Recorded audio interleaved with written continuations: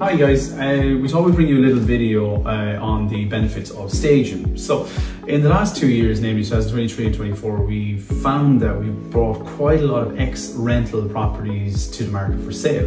Now these properties can be uh, quite tired on first uh, viewings. So we generally advise the landlords to maybe simply simple staging of the properties. Now simple staging is very simple as it sounds. If we're talking about the likes of props, we're like talking about the likes of um, fake plants, we're talking about little imagery on the wall, lampshades. These things are not, they're very simple but can add for uh, the allure of the property itself.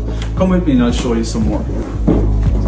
So we walk into the living room itself, simple things the likes of cushions on couches, on original couches be that, we're talking about mirrors, we're talking about lamps, we're talking about candle holders, even simply put, you could have logs in an empty fire. These little props add to the effect of the property as it looks like it's lived in.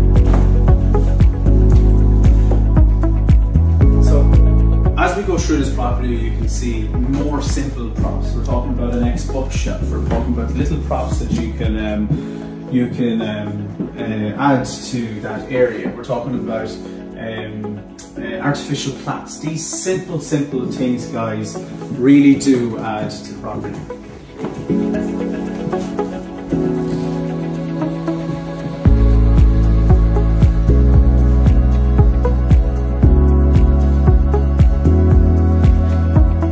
Even to the ability of age-old flowers, to uh, fruit baskets, to even simply put cookbooks in the kitchen.